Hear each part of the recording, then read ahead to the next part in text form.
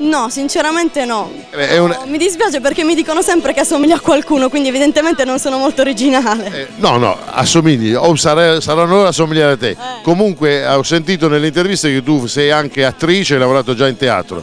E adesso che da questa prima fascia che ti ritrovi e si apre un attimo, sei al primo gradino di questa scalata, che cosa vorresti fare nel mondo dello spettacolo? Io vorrei recitare in teatro, speriamo, è la mia più grande ambizione, oltre al giornalismo. Oltre al giornale. No, Questo è sicuramente un buon punto di partenza. Ma potresti anche diventare una lettrice di telegiornale e recitare le notizie. Recitare le notizie. Speriamo, chi lo sa. Vuoi salutare qualcuno in particolare? Saluto tutti quelli che mi conoscono e mio nonno che mi ha iscritto a questo concorso. Perché crede in te come, quelli di, come la giuria di questa sera. Forse crede più lui in me che io. Perché Allora. eh, insomma, non ci speravo. Non ci speravi. In bocca al lupo per Antonella Cappelli, eh, selezionata italiana per Miss Mondo, Miss Mondo selezione qui all'Angiuli di Bari. In bocca al lupo.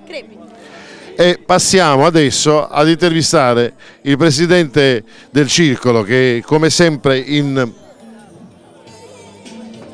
in tenuta sportiva. Presidente, bilancio della serata?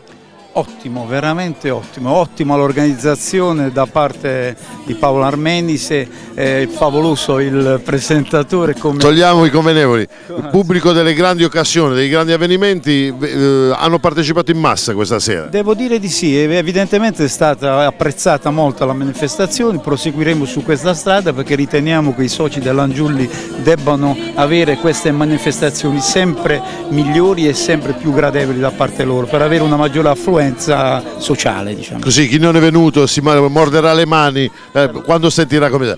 Le ultime conquiste degli atleti dell'Angiulli?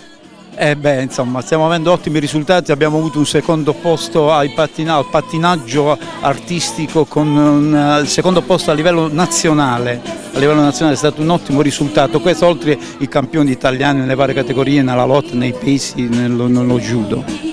Quindi continua la tradizione dell'Angiuli sotto la presidenza del eh, dottor Pascot che tra l'altro sembrava che dovesse saltare da momentaneo, invece mi pare che è stato riconfermato alla grande per l'ottimo lavoro svolto. Eh, benissimo, in bocca al lupo e grazie per la serata. Grazie.